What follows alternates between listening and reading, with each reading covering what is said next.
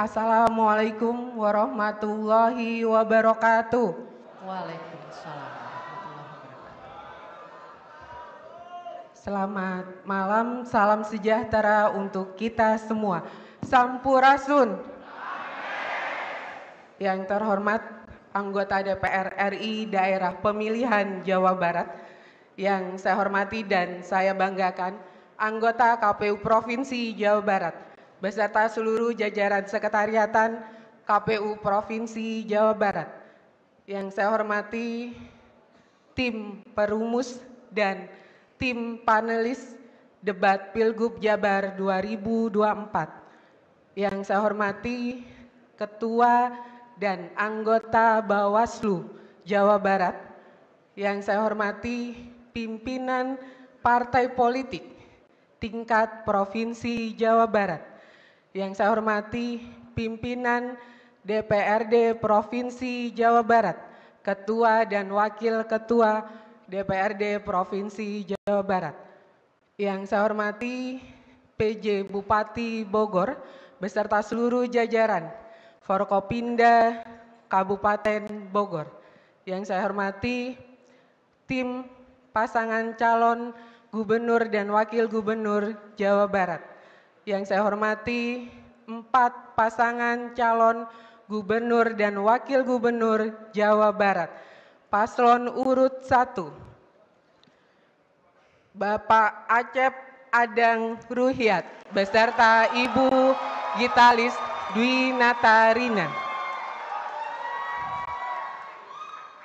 Paslon nomor urut 2. Bapak JJ Wiradinata beserta Bapak Ronald Surya Praja.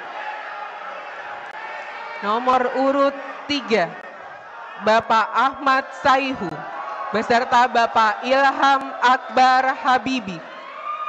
Nomor urut 4 Bapak Dedi Mulyadi beserta Bapak Erwan Setiawan.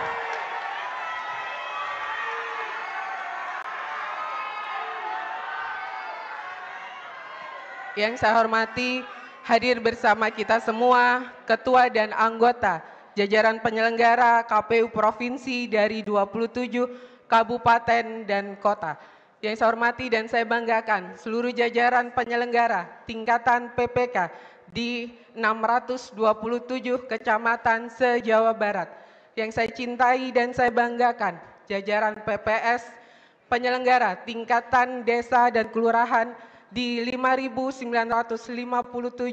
desa dan kelurahan di Jawa Barat serta hampir 600 ribu KPPS se-Jawa Barat yang tersebar di 74 ribu TPS di Jawa Barat.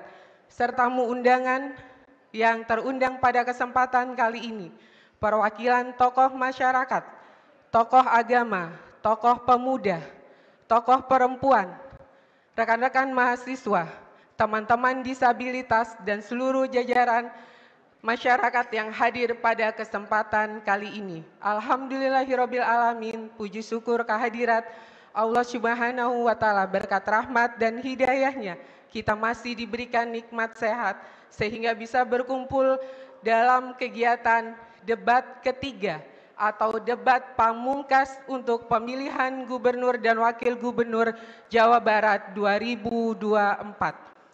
Jawa Barat adalah pemilik terbesar untuk tingkatan provinsi 35 juta 960 925 pemilih di Jawa Barat. Ini adalah jumlah pemilih terbesar di Indonesia. Kami sangat sadari Provinsi Jawa Barat tidaklah mungkin bisa melaksanakan pelaksanaan pilkada ini tanpa bantuan dari seluruh stakeholder yang berada di wilayah Jawa Barat. Berdasarkan PKPU 13 dan berdasarkan SK Keputusan 1363, salah satu metode kampanye yang dibiayai oleh negara melalui KPU adalah debat. Hari ini KPU Provinsi Jawa Barat menghadirkan debat ketiga sebagai debat pamungkas dengan tema Bumi Subur masyarakat akur Jawa Barat makmur.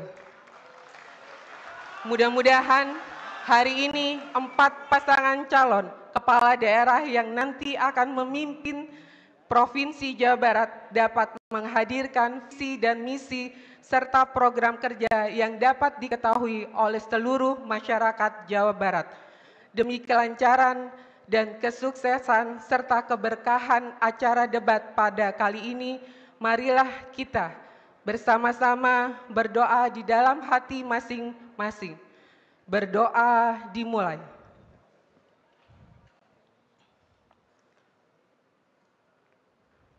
Selesai.